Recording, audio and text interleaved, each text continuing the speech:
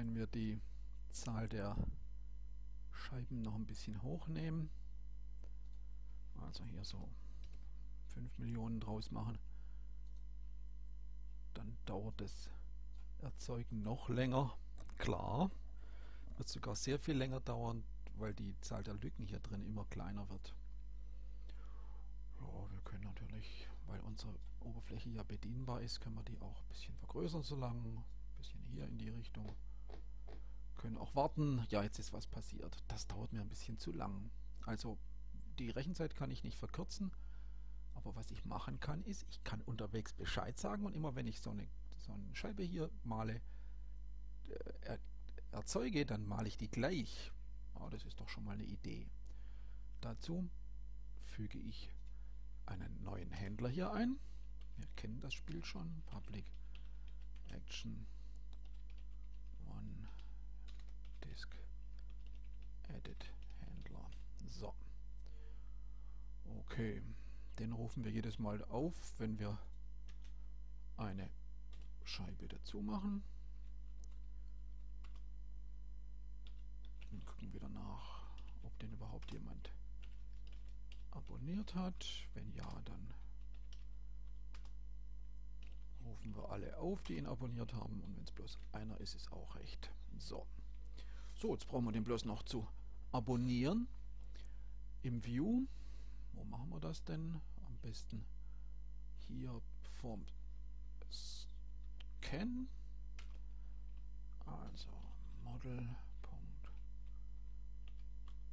Edit Handler fügen wir das dazu. Ähm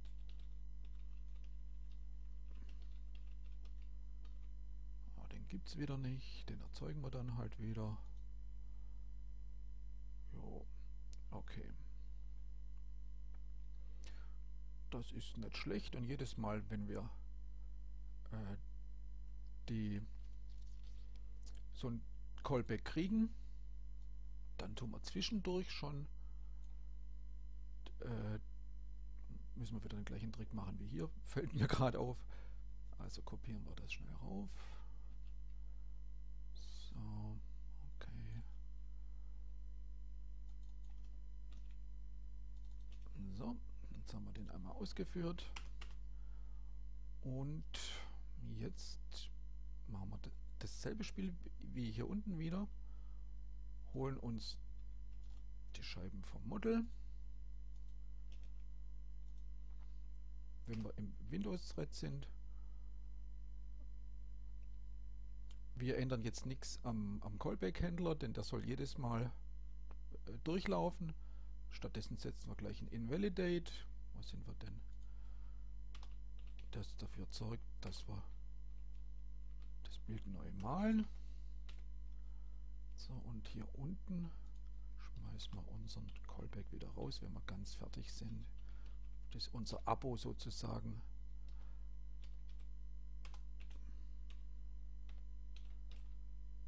Minus gleich. Welche haben wir da oben gehabt? Disk Edit Callback. Jo. Okay. Probieren wir mal, was jetzt passiert wir da ein bisschen mehr sehen.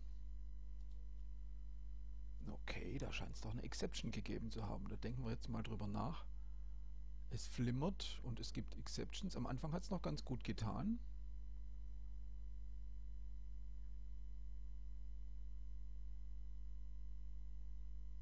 Hm, denken wir mal kurz nach.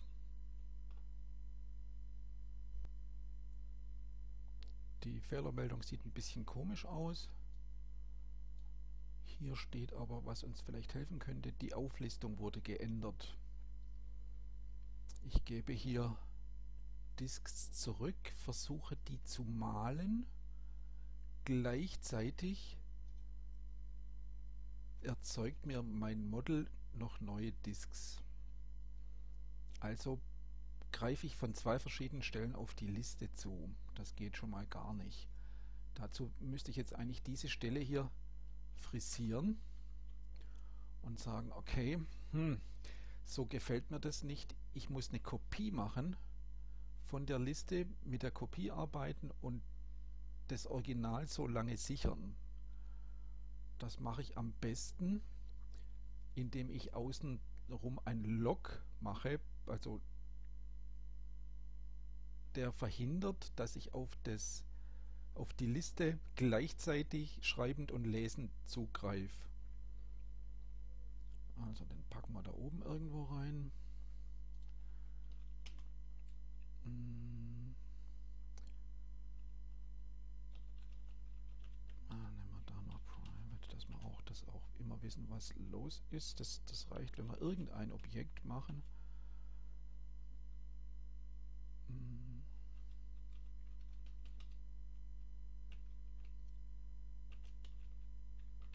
So, haben wir jetzt erzeugt.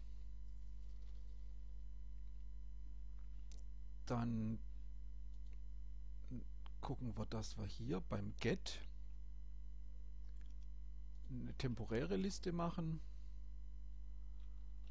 List Disk temporäre Temp Disks. Haben wir die. Die habe ich noch nicht zugewiesen. Das mache ich erst im Log. So, in diesem Block weise ich zu, beziehungsweise kopiere New List und da übergeben wir jetzt als Parameter die Liste. Also wir machen hier in dem Moment eine Kopie, die durch das Log geschützt ist. Wenn wir, jetzt müssen wir natürlich auch die Temp-Disks zurückgeben hier, die durch das Log geschützt ist, wenn wir das Reinschreiben auch schützen. Und das Reinschreiben machen wir an, an einer einzigen Stelle. Müssen wir mal schnell gucken. Hier unten. Da schreiben wir das rein und das schützen wir genauso.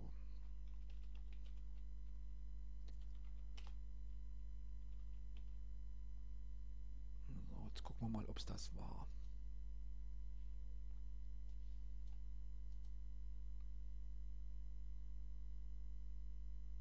Das tut doch schon mal ganz gut. Also wir können beobachten, wie die einzelnen Punkte gezeichnet werden. Und das macht das Warten ein bisschen leichter. Wenn wir dann irgendwann mal fertig sind mit dem Punktezeichnen, dann geht auch das Erzeuge wieder auf dunkel. Und jetzt hat es Zugucken schon ein bisschen mehr Spaß gemacht, aber was den Spaß noch getrübt hat, ist, dass das Bild so fürchterlich flackert aber das machen wir im nächsten Tutorial.